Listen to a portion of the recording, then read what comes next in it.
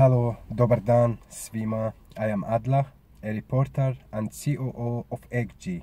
I cover the regions of the Middle East and the Balkans because I know these areas very well. I know people well too, and I know the history of these regions. And I spent many years in these areas. By chance, I am now in Croatia as a member of Croatian family.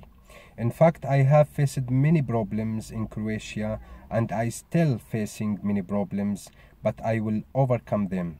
I want to communicate with anyone in the Balkans or in the Middle East who needs help, and I will do all I can to help.